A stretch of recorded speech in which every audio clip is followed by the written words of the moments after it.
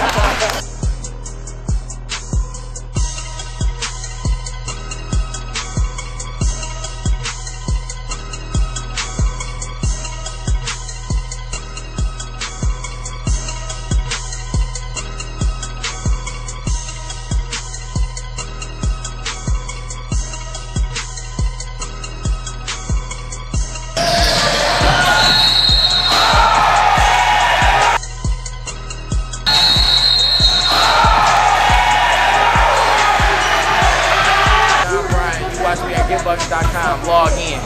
Faith.